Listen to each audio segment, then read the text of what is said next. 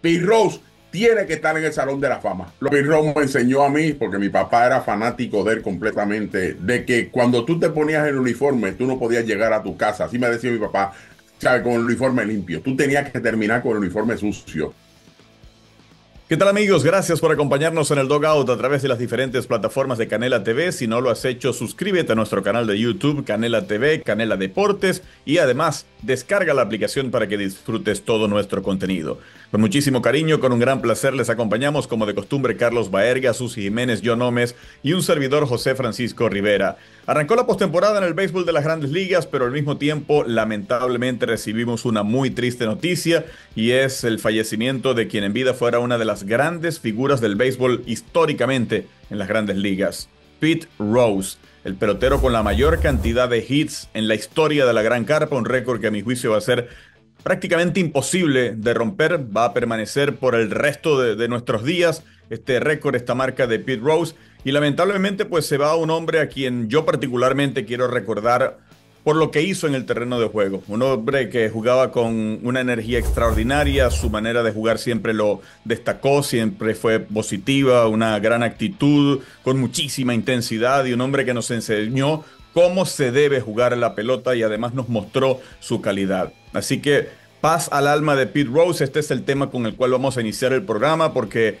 voy a arrancar con John porque definitivamente la partida de Pete Rose es el adiós a una de las grandes figuras en el béisbol de las grandes ligas. John, yo particularmente crecí viendo a Pete Rose en Venezuela, recuerdo haber eh, observado en vivo el momento en el cual él implantaba el nuevo récord de más hits conectado por un pelotero en las grandes ligas y pues obviamente quedó marcada en, mi niñez en aquel momento la actuación de Pete Rose, el título del 1980 con los Phillies de Filadelfia y mucho más de lo que fue tu trayectoria.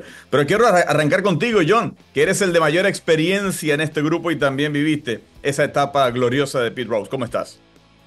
José Francisco, un buen, buen saludo a todos nuestros oyentes, a Susi, a Carlos, yo creo que no fue uno de los jugadores más grandes de la historia. Es el jugador más grande de la historia del béisbol, porque lo que hizo Pete Rose dentro del campo de juego fue algo espectacular.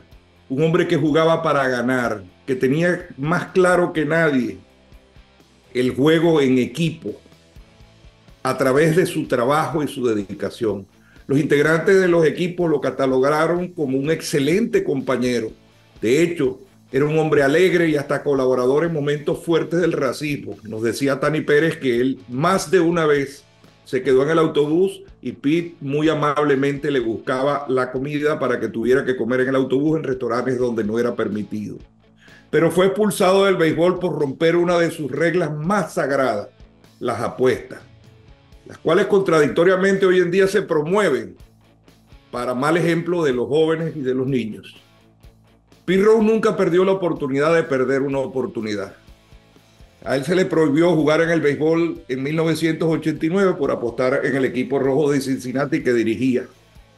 Rose recibió una oferta de salvación de parte del comisionado Bart Yamati, quien coincidencialmente meses después ha sido el único comisionado que no tuvo una campaña completa. Falleció padeciendo de un cáncer producto del excesivo uso del cigarrillo. Pero el Yamati dijo en ese momento, la carga de mostrar una vida redireccionada, reconfigurada y rehabilitada es completamente de Pirro. Sí le dieron la oportunidad de admitir su error, lo cual en un principio no lo hizo, y Rose se negó a hacerlo.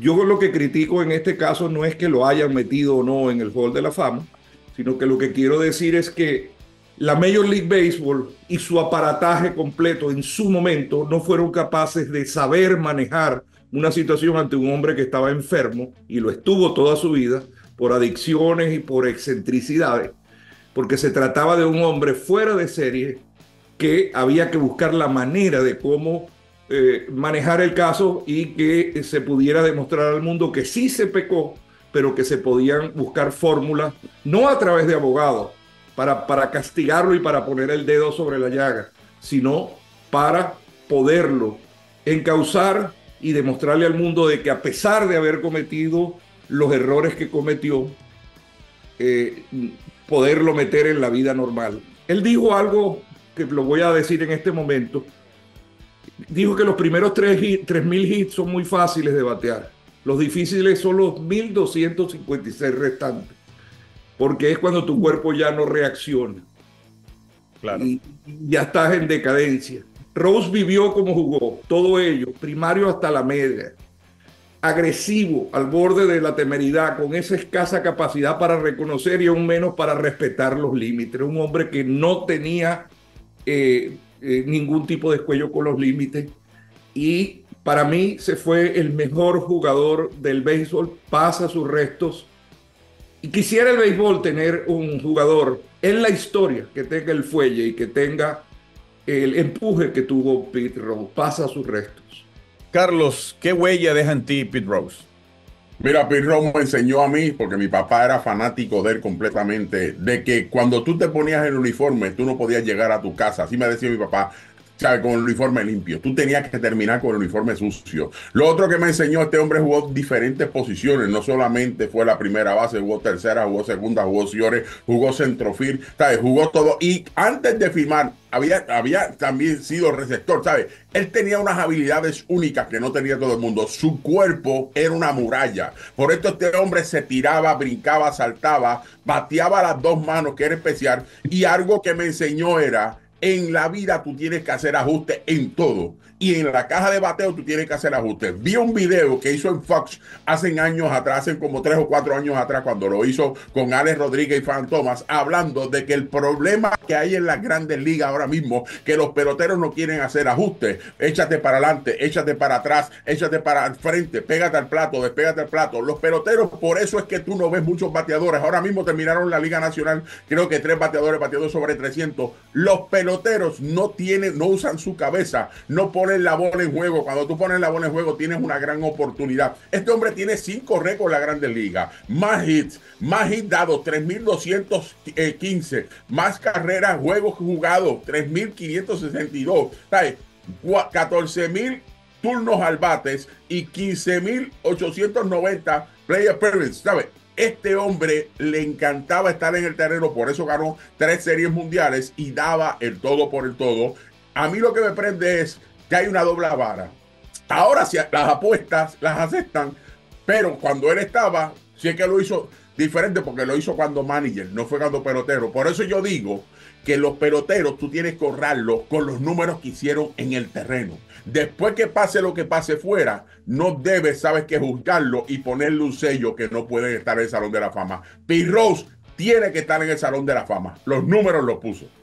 Susi, lamentablemente tú no viste jugar a Pete Rose, tú eres mucho más joven, pero ¿qué, qué huella deja en ti o qué recuerdas eh, o qué referencia tiene Pete Rose en tu, en, tu, en, tu béisbol?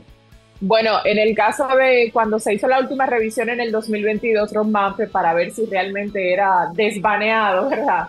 Pete Rose del tema de las grandes ligas y del Salón de la Fama y que se dio la negativa, me interesé mucho en el tema y en la misma actitud que había tomado el jugador. Ya él eh, se había resignado al hecho del perdón, eh, que en su momento él aceptó el tema de la suspensión y el baneo de por vida, pero que queda ahora, queda su legado. Y la única forma, yo creo que esa pueda mejorar para sus familiares y para unas generaciones que no lo conocieron, pero que cuando escuchan de Pete Rose lo que se habla de las apuestas es injusto.